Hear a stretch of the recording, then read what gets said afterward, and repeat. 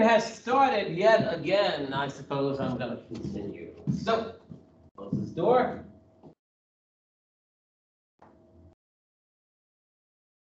All right, you can name a lot of things. One thing I didn't teach you yet. So first of all, remember that mono, di, tri, tetra thing? Well, I'm gonna tell you something.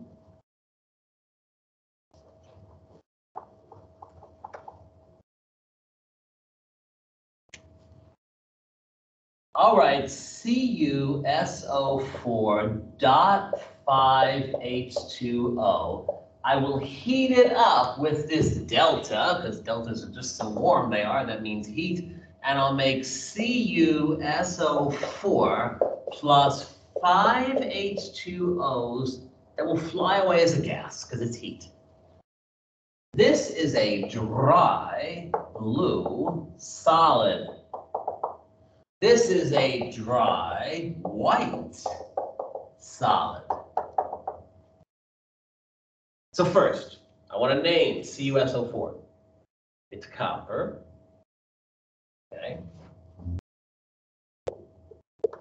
SO4, more than one type of atom is an anion. Look it up on my little table of polyatomics. It's a sulfate. And then I say, is copper a 1A, 2A, aluminum, zinc, or silver? It is not, therefore it needs a Roman numeral. Sulfate is a minus 2. There are not, though you think there are, there are not four sulfates here. Because remember, what's a sulfate? Sulfate is this wild species. Floats around. There are four of these. No, there's only one of those. So minus 2 times 1 is minus 2. Opposite that is plus 2 divided by 1. So that's a plus 2 copper. This is copper 2 sulfate. No question about it. But this is copper 2 sulfate and it's blue. And this is copper 2 sulfate and it's white. If I take a rock of this type of copper 2 sulfate, it weigh and weigh it for a certain amount of weight and heat it up it will drive off waters that are internal inside of the actual crystal lattice. We say these are five waters of hydration. It'll drive off the five waters of hydration and they fly away as a gas. And this will leave you, since it's the salt of sulfuric acid, the anhydrous salt. So this species is called a hydrate, but there are many different hydrates. How do you name it? Well, you just use that di-tri system that I use for monodi-tri, for carbon dioxide, etc. You say pentahydrate. So this is copper 2 sulfate pentahydrate. So if I said, write the formula of copper 2 sulfate pentahydrate, ignore this for a moment. Copper 2, Cu plus 2, sulfate, SO4 minus 2. You can cross it down, but they balance each other. So you write CuSO4, and then for pentahydrate, 5, like the pentagon, 5 waters, dot 5 H2O. So that takes care of me talking about hydrates. Something else I want to talk about, because I know exactly what I'm going to give you for old exams to look at. Right.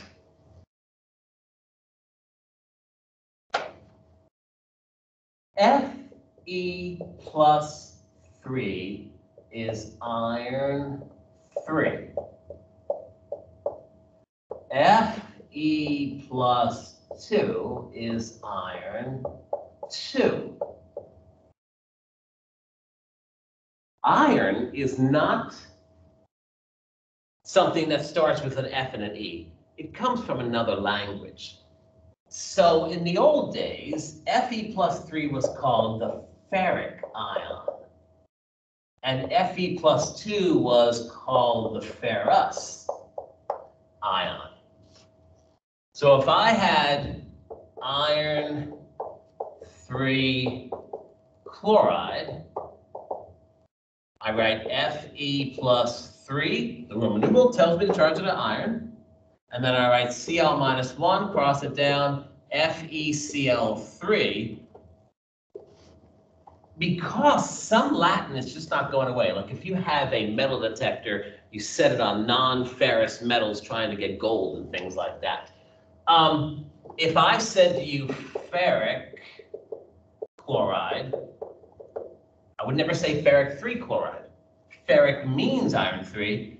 Ferric means Fe plus 3. Chloride's a minus 1, FeCl3. So there's some Latin that's not going to go away and I can't get rid of. I'll write the rest of them. Cu plus 2, copper 2. Cu plus 1, copper 1. This. Copper 2 was called cupric. Copper 1 is the cuprous ion. Cupric ion, the cuprous ion. This is important. Iron 2 is ferrous. Copper 2 is cupric. So the IC is not only going to go at 2s. But the IC is always a higher number than the OUS. Probably you're thinking I just made this all up. I always thought it'd be interesting if I made a class up and invented my own science and just taught it and then no one ever told them it was wrong. But this does seem obscure. This is just years and years of mankind or humankind learning stuff. PB plus 4, PB plus 2. Okay, why is it not a 3? Well, it's a long story. There's something to do with the sixth shell and these orbitals of p's and s's being uniquely stable. Below lead is tin, Sn plus 4, Sn plus 2. So this is lead 4, and this is lead 2. But lead is used for pipes. I had my other students smelt lead. I had to make little bullets in the laboratory. It was really a hot fire that I had to use. But either way, so lead is used for making bullets, etc., but it's also used for pipes. Lead pipes are used in plumbing. That's where the Pb comes from. This is plumbic. And this is plumbous. Once again, the ick is going to be the higher oxidation state, a higher charge. This is tin 4. This is tin 2. So this is stannic. And this is stannous. Fluoride is used for making your teeth a lot less soluble, thousands of times less soluble. If you look on, uh, I suppose, your toothpaste, it'll say if it has fluoride, it'll say it has stannous fluoride. It means stannous fluoride would mean SN plus 2, fluoride would be minus 1, SNF2. So it contains stannous fluoride. If it contains stannic fluoride, it'd be SNF4. That takes care of naming for a while. Now, I'm going to look at my sheet of other things I've told those students. Okay, here we go. Because you want to hear the same stuff. You paid the same money. All right. This is water, HOH. Let's write it this way. Just for fun. Water could be thought of as H plus getting with OH minus. H plus is the proton. OH minus is the other side of water. It's one of our polyatomics. I look at our little polyatomic sheet and OH minus is called hydroxide. So when the proton reacts with a hydroxide, it neutralizes to make water. The word neutralize is going to be important. So there's something that you will deal with in life and you'll deal with in this class, but you'll definitely deal with in life. There's something called the pH scale.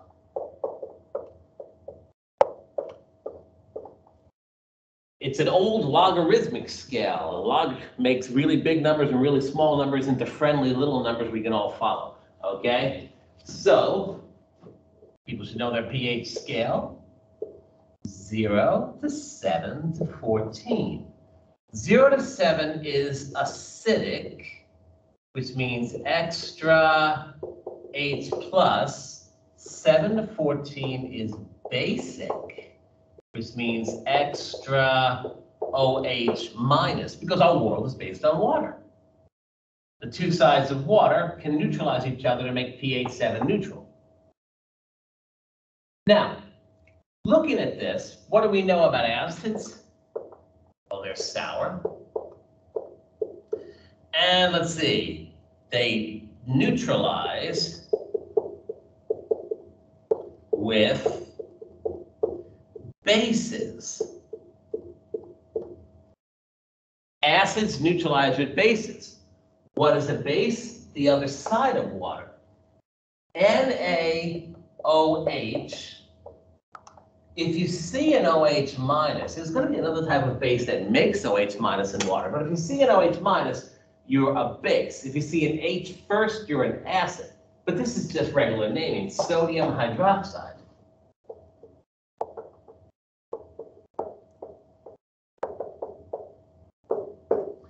This was called lye. This is the major ingredient in Drano to clean your pipes because bases react with animal fat. So bases react with animal fat, or any fat really, to make soap. And that might seem like a friendly thing, but I consider bases to be more dangerous than acids. If I put my hand in hydrochloric acid, I'm gonna take my hand away and say, oh my God, that hurts, let me wash that off. If I play with a pellet of drain cleaner, sodium hydroxide or potassium hydroxide, if I play with a pellet, my skin is gonna get very slippery. And it's a little bit of fun for a moment. When I wash my hand, because there was animal fat in my hand, I've got a huge burn on my hand. So you don't know that you're getting burned. So I think these are actually more dangerous. Why do we need this? Oh my God, so much of your life is greasy. You're trying to get rid of grease. So if you think about it, um, if you clean your drains and they have like animal fat in them, you can clean it out that way. If you have like um, a clean in an oven, it's a spray. That's why the oven cleaners are so dangerous. It's a spray bottle of Drano. You got that in your eyes, you blind yourself in a second. But what do you do? You're cleaning the grease off the inside of the oven. Everybody cooks these days because of all the cooking channel shows. We really like those. So, acids neutralize with a base. The bases neutralize with an acid. And they have extra OH minus. Now, acids are sour, but I wouldn't eat hydrochloric acid, but vinegar, you can eat vinegar and it tastes kind of sour. Citric acid for lemons and things like that. Well, this right here, basic hydroxides, these taste bitter. All your bitter herbs are going to be basic in solution, if you're wondering. Would need sodium hydroxide though. So that's a little bit of acid-base chemistry, except for one thing. As chemists, when we want to test we take a piece of paper, it's called litmus paper. And blue paper, litmus paper, turns red in acid. And red litmus paper turns blue in base. Acids are often written with a red color. Bases are often written with a blue color. The blue and the red neutralize each other. Why is this important? Well, I mean, I want you to know that litmus paper, that blue litmus paper turns red in an acid and red litmus paper turns blue in a base. But litmus is used during political years because litmus can only tell you if it's acidic or basic. It doesn't tell you the exact pH. It's an on-off yes or no test. They use that in politics a lot. So if you're trying to elect someone who's president, uh, we have a very strange thing in this country. We have um, a Supreme Court ruling, but not a law. Okay, so right now abortion is legal because of the Supreme Court ruling in the early 1970s, Roe versus Wade. Normally, when we have a law, people pass it, and then it becomes the law of the land, or it's going to be a law for one state, a different law for another state. But Roe versus Wade is this decision. What's interesting about that is you have a Supreme Court and a Supreme Court before Roe versus Wade, before the whole abortion debate, et cetera, people would get that appointment for life, but they'd retire. Okay?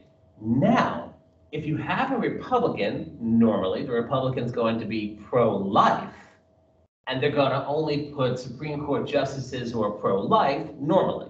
If you have a Democrat, uh, quite often the Democrat's going to be pro-choice, but not always.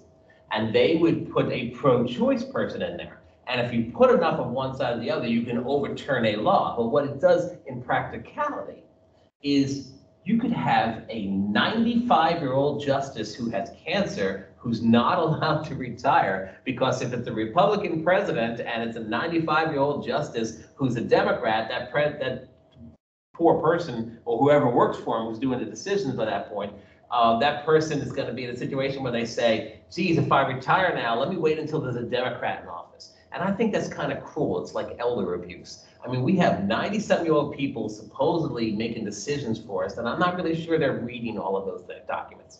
Maybe they are. I've got a 91 year old uncle, and he seems to be quite lucid, okay? But either way, they always talk during debates and they say, Mr. Uh, Mr. So-and-so, you're running for president. Do you have a litmus test? And for Supreme Court justice, and they always answer, I'm going to pick somebody with the best judicial character based on all their decisions. But they might have a test that says, no, I'm not going to take pro-choice, or no, I'm not going to take pro-life. And I think it's cruel to the elderly people who work in the Supreme Court. That's just my feeling. I have no opinion on uh, abortion at all, if you notice my feeling. There's no reason to have an opinion. But I do hate the fact that they've taken a chemistry term and they use it to abuse the elderly. So let's leave that alone. pH scale is done. But I have other things to tell you. You're probably like, what could he possibly teach me now? Okay, what is everything? You've been taking too much for granted about what stuff is. Now we're going to tell you what all the stuff is. So, first of all, we know our air is 80% N2 and 20% O2. I think people should know that. If you go underwater, rooms of air are condensed all the way down to a liquid. And you put them on your back and you just go underwater and it's a great experience for you and you breathe in actual air, okay? You don't go underwater with just oxygen. So, but what is everything else? Well, let's see. Rocks can be smelted to make pure, P-U-R-E, metals. So iron ore is a rock. You heat it up in the presence of carbon and you can make steel, which is really pure. The most abundant metal on the earth, I said, is aluminum by far, but that's all stuck in Kentucky red clay and other types of clay. Getting past that, CaCO3. If I said name that, CaCO3, calcium carbonate,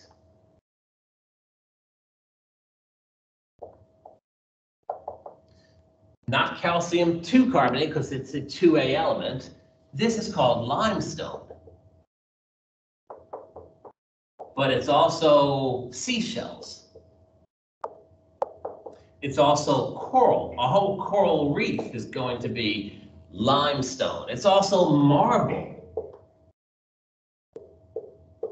If you have a marble statue, calcium carbonate reacts with acid for acid rain and it degrades and it gets all, well, it starts to give off gas and it becomes like pitted a lot of times, okay? But if you take calcium carbonate and you mix it with clay,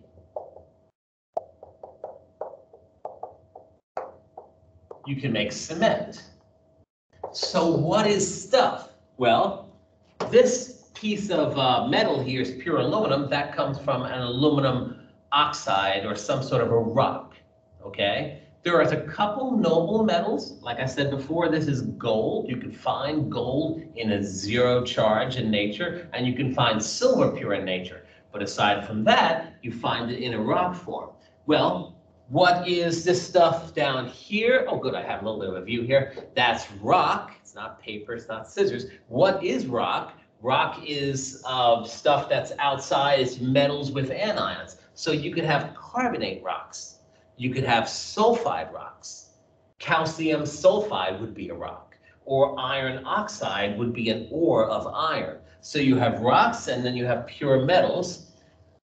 And then something else, let's see, chains of glucose sugars bonded one way are starch. All right, chains of, you can explain what everything is around it. So chains of glucose sugars bonded one way are starch, bonded Another way are cellulose. So wood, paper. And by the way, these are polar. How do you know paper is polar? If I take this sheet of paper and put it in water, the water runs up it. If it was non-polar, which I'll get to pretty quickly, the water would stay away from it. Like you wax your car with non-polar wax and water beads up. It hates it. It's trying to get away. Well, it loves this stuff because this is glucose sugar. You could eat it, it would just be fiber, okay? So piece of, all, all the wood you see on these doors, that's nothing but sugar. What can eat that? Uh, well, something that can break down the chain and it's only termites because they use some sort of a symbiotic relationship with some sort of a protozoa or something. But either way, getting past that, what is everything? You have air, you have rocks that you make stuff from, right? And you can make cement. Let's see what else. Sand makes glass. When I was a kid in the 1970s and you went to the store, boy, everything was so heavy. All the bottles of soda would be glass. Today, they're not. What is everything else in this room? Okay, because we figured out glass, we figured out anything made of paper or wood, and we figured out everything else is made of rock, then there's this big topic, fossil fuels. And they're pretty much everything else. So let's explain fossil fuels being everything else. First of all, I feel bad for the name. Because if somebody says what fossil fuels are, you say coal, which you could burn to make electricity. And in Kentucky, I'm sure we still burn some coal to make electricity. Doesn't burn very cleanly. Then you have natural gas. And that's just CH4. We're going to do a lot with that. This burns very cleanly. Okay, so if you have natural gas, that's a Bunsen burner, or this is what heats your home quite often. Okay, Coal can be used to make electricity, natural gas a little bit different. Then you have uh, petroleum. And I want to spend some time on petroleum. Here's a barrel of crude oil. All three of these are fossil fuels.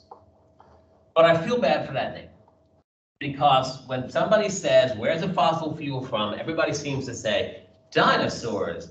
Okay, a little bit of coal might be from dinosaurs, but it's mostly giant amounts of forest. Okay, so anyway, if you break down all the glucose in the wood, it becomes nothing but pure carbon at some point with other things in it. So there's a little bit of dinosaurs in there. You could be fossil fuel at some point. But crude oil, we live in Kentucky, we distill alcohol from fermented fruits. What does it mean to distill? Well, if you had some apple cider and it went bad, it would produce some alcohol which you could get drunk on. But if you drank enough to get drunk, you'd have horrible stomach problems. So what we do is we distill it. Alcohol, the one I'll talk about soon, will be called ethanol, boils at 78 degrees Celsius and water boils at 100 degrees Celsius. So if you have a solution that's alcohol and water and you boil and distill off the stuff that boils low, you can get a much stronger bourbon or whiskey or anything you want to make. That's a big thing. You see those moonshine. Um, what do we see? We see moonshine uh, TV shows where they pretend that nobody knows they're out there in the woods and they're making this stuff. If you, if you really saw this, if you saw like a tractor going in a field that's on blocks, somebody might be doing a distillation apparatus. So you can separate liquids by boiling point. Back to petroleum. So you take a barrel of petroleum, crude oil. We just had a storm in the Gulf of Mexico. And the price of gasoline goes up because we might have a lot of crude oil, but we don't have a refinery that's running. So if we talked about boiling points, because we're still doing what is everything. So this will be low boiling points. This will be high boiling points.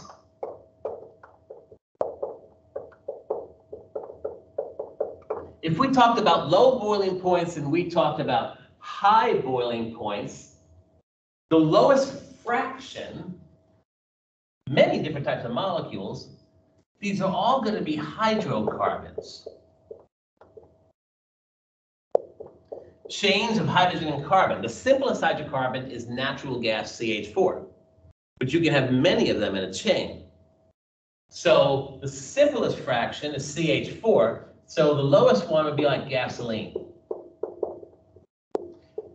You boil off your gasoline, the lightest one, but there's still a lot of stuff in the barrel that are heavier, longer chains. Higher boiling after you get rid of these, kerosene, jet fuel. You might have seen a kerosene heater. If you use a kerosene heater inside of a house, it's not that clean because it's a heavier oil. Lamp oil, they might call that stuff at some point. Then on top of kerosene, oh, I don't know, the motor oils.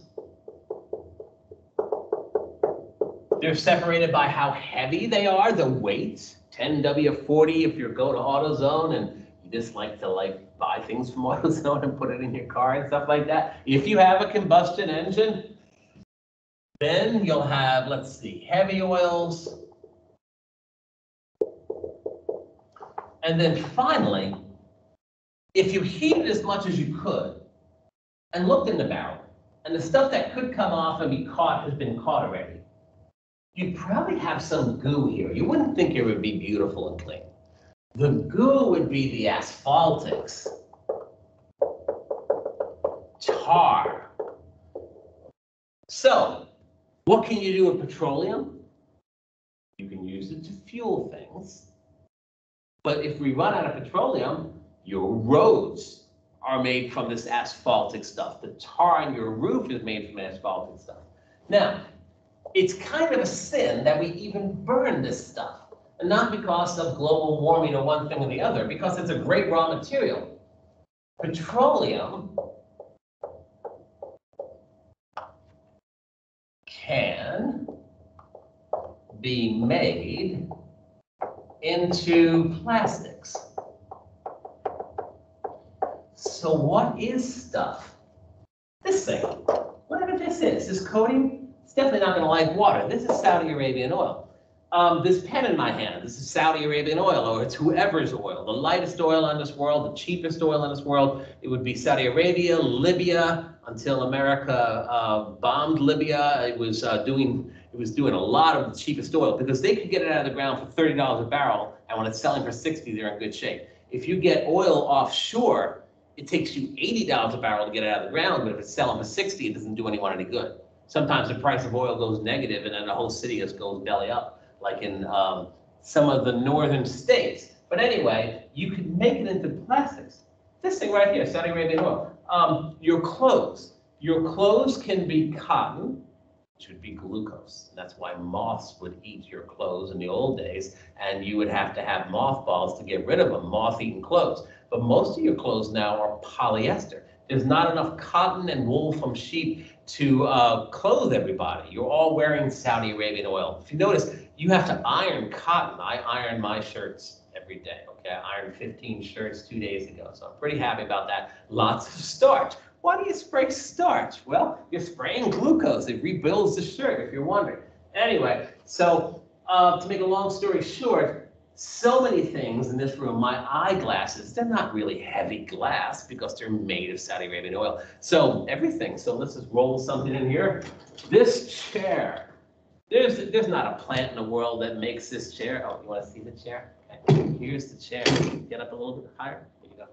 Here is the chair. The bottom of it, Saudi Arabian oil. So I want you to know what everything is, and I hope I think you could tell what everything is right now. You could say like well, what's your cell phone? A lot of plastic, so it's Saudi Arabian oil, some metals, and then some rare earth elements, etc. But I want you to know what stuff is. So let's continue.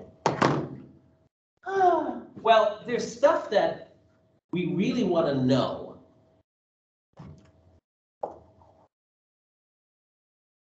If you're curious. There's stuff that we really want to know about these non-polar molecules. First of all, if you have a carbon to a carbon to a carbon, four bonds each to hydrogens. This is such an even pull in all directions. It's going to be non-polar. This is completely non-polar. This is still a gas It's very small, but the longer you get, you start having things like gasoline, you start having like longer chain things, but they're not going to mix with water, they're non-polar. If I gave you a little square marshmallow and I said, stick four sticks into it as far from each other as possible, you would come up with some sort of a shape like this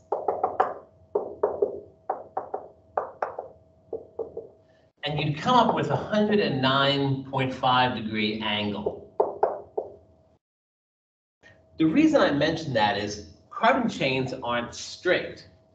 Carbon chains go up and down. Like this, up and down, up and down, up and down. If you've ever seen someone draw in biology a cell wall, it looks like they're drawing a little ghost they're drawing carbon chains. If your son or daughter is taking sixth grade biology and they talk about what a cell looks like, it looks like a strange thing like this. These are just carbon chains going up and down, but these are nonpolar. With that in mind, people do want to be able to name some of these things. The prefix for organic naming is a little different. It's based on the number of carbons. So you have prefix of meth that means one carbon, like CH4 is methane.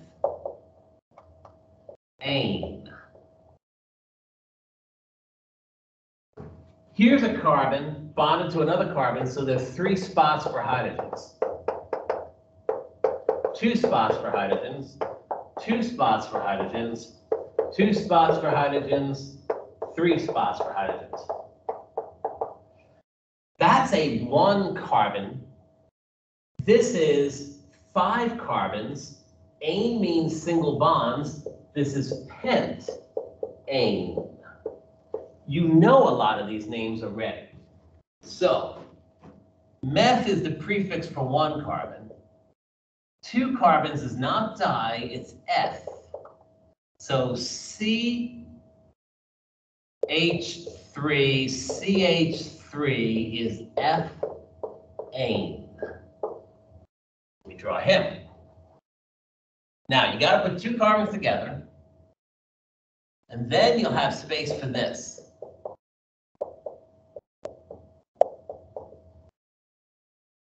The end ones get three hydrogens, the center ones get two, by itself it gets all four. The third one you know, you've bought. Prop, not try, it's prop. So CH3, CH2, CH3 is propane. It's still a gas. So that would be CH3, then a CH2 in a center, then a CH3. I've condensed it, CH3 here, CH2 here, CH3. Like if I condense pentane, CH3, CH2, CH2, CH2, I could say CH2 three times somehow, CH3. The fourth one you know too, bute. So CH3 brackets, CH2 two times. CH3 is butane. The fifth one, pentane. That would be CH3, CH2 repeated three times CH3, pentane.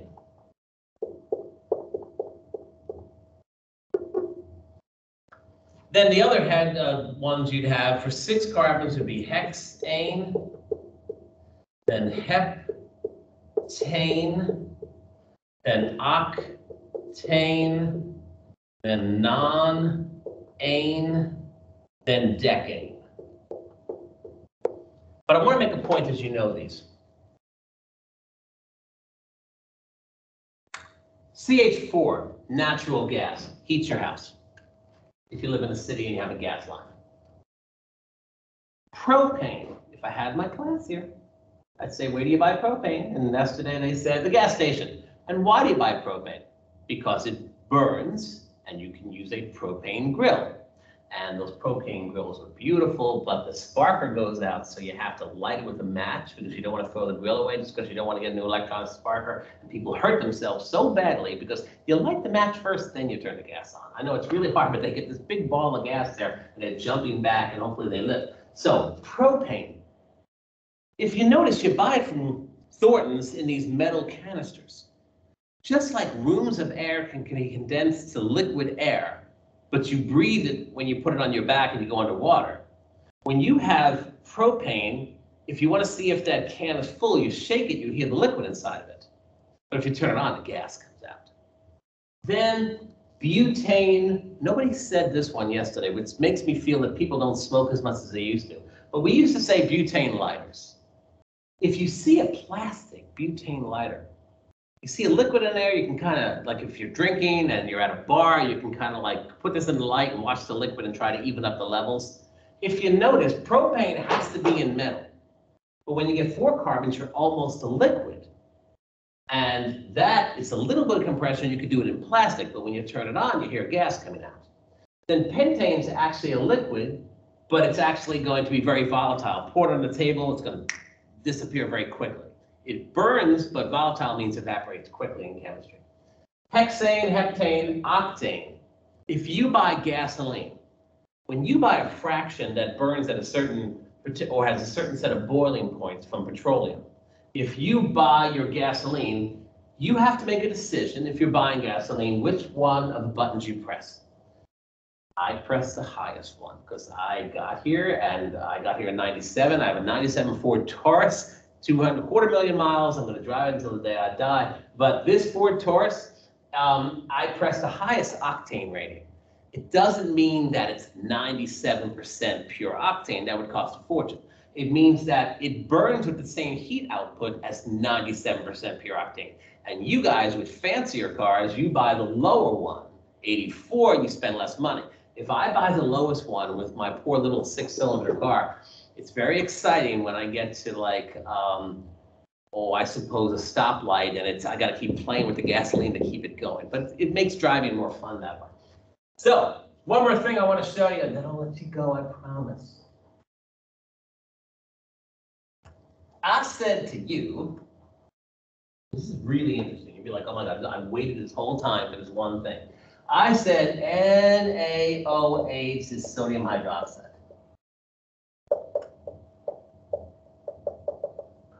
Well, if you have a carbon, and instead of having four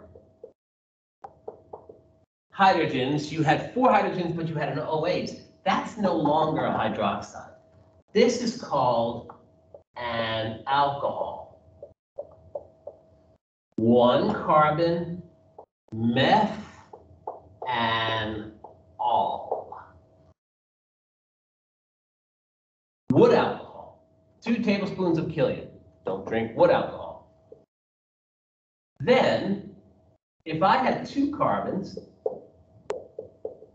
and then an O, I mean, then a C with two hydrogens and an OH, this is no longer just ethane. This is ethanol. This is what you call drinking alcohol. This is what the fruit ferments to, and that boils at 78 degrees. This is drinking alcohol. When you drink too much, you get drunk and then you get a hangover because your body converts ethanol to something called acetaldehyde. I'm not doing biochemistry, and that's the hangover molecule. Your body converts ethanol to acetaldehyde, but the COH reacts the same way. OH is called a functional group.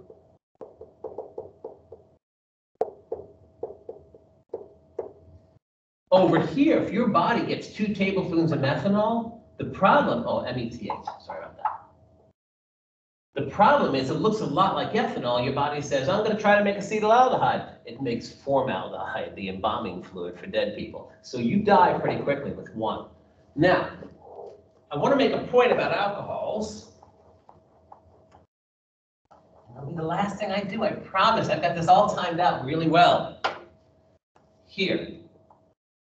C H H H C H C. Now, instead of putting the OH at the end, which I could and make propanol, I'm going to put it in the middle to make like an I. This is called isopropanol or isopropyl alcohol.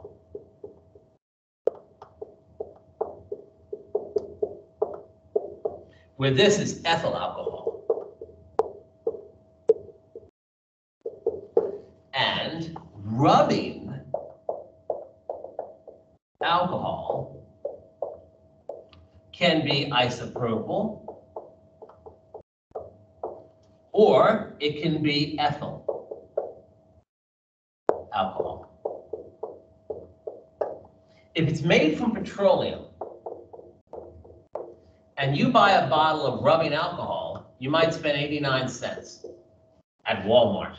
Everywhere else it'll be $1.15 or more. 89 cents. They smell a little bit different, but they're both going to do their job. Now, why are they called rubbing alcohol? Well, when you get an infection, you get a fever, and we didn't always have ways of cooling children down with fever. If I pour alcohol on my hand and I say, oh my God, I hate having alcohol on my hand. I'm going to go to the bathroom and wash it off. By the time I get to the bathroom, it's gone. And my hand feels cold because it's so volatile, it steals heat from my hand to fly away.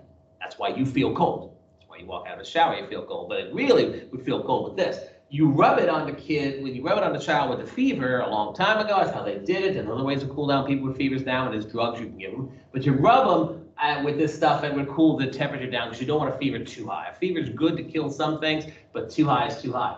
If they're both made from petroleum, they're 89 cents. If you buy the exact same ethyl alcohol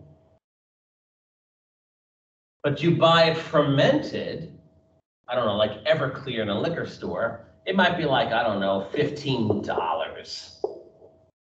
It's the exact same molecule as the ethyl rubbing alcohol. But you can't drink the ethyl rubbing alcohol because all governments on this planet, as much as we fight with each other, have poisoned this one. They want to protect the farmers. That's a good reason to do that Okay, in chemistry, we can get really cheap alcohol that isn't poisoned, but we have to like write all these things for the government saying how many bottles, so we don't like have somebody steal it before a party or something. Okay, but if, there's always like a, one year it's a bunch of Ukrainian soldiers, they went to the ph- pharmacy, they said, oh, this one's ethyl alcohol, let's drink it. They got drunk and they died because they put the poison in there. So I think people should probably understand that ethyl alcohol and isopropyl alcohol are both rubbing alcohols you can buy. And that ethyl alcohol, if it comes from a plant, is the one you drink. And I think that's gotta be enough. So um, I'm going to put up problems and homework or opportunities, probably on Friday, which means tomorrow, whenever you're watching this. And uh, then you'll have something to do this weekend, and the following weekend there'll be the exam. Thank you for your time. You're all great. Everybody's proud of you. How's that? Yay. Okay, good. Ah. Stop recording.